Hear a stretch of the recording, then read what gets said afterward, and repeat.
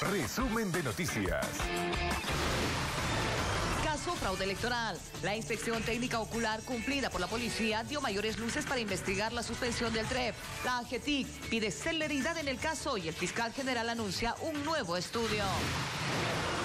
De candidatos a debates. Fernando Camacho pidió debatir con Mesa y Arce. El candidato de Comunidad Ciudadana lo descartó y le responde que espere el voto del 18 de octubre. Chi Hyun reta a Camacho a debatir sobre la Biblia.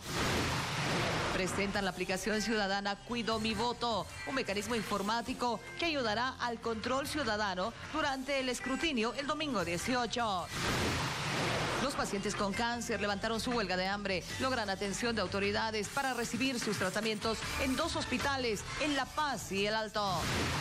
Varias familias acudieron hasta el cementerio general en La Paz para visitar a sus difuntos en el primer día, de acuerdo a la terminación de su carnet.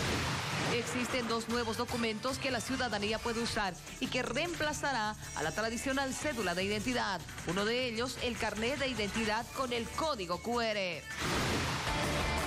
Resumen de noticias.